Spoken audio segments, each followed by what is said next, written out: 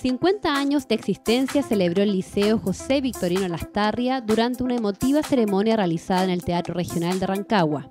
En la instancia, encabezada por el intendente regional Pablo Silva Amaya, se destacó la labor integradora de este establecimiento educacional fundado en el año 1966 y su aporte a la enseñanza de los jóvenes de la región. Saludar a toda la comunidad educativa del Liceo Victorino Lastarria, cumplen 50 años, si uno lo compara ¿no es cierto? con la vida de uno, es una etapa ya de consolidación, ya 50 años, ¿no es cierto?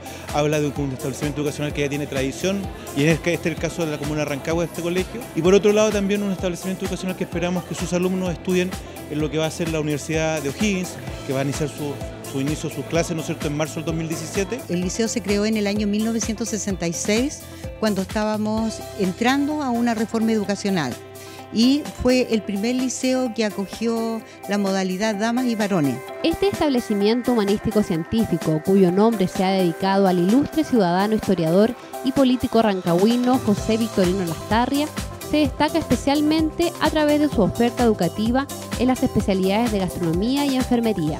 Nosotros el día de hoy cumplimos 50 años, que es bicentenario, y nuestro liceo tomó la iniciativa de realizarlo acá en el teatro para ser más formal y invitar a toda la comunidad educativa y tanto de lo exterior. Estoy estudiando gastronomía y planeo seguir estudiando algo más y gastronomía tomarlo igual como algo más para trabajo, algo igual no una especialidad mala, es bastante bonito. Partir por eh, felicitar a todos los alumnos, a la comunidad educativa del, liceo, reconocer el aporte que ha hecho a, la comuna de Rancagua y a la región eh, y nosotros como gobierno vamos a estar justamente detrás de ellos. Pero además queremos hacerle un llamado ¿cierto? a aquellos que ya cumplieron 18 años, que este 23 de octubre vayan a votar, igual que los profesores, que los apoderados, es, hay que tener responsabilidad cívica y este 23 de octubre es importante que vayan todos a dar su opinión.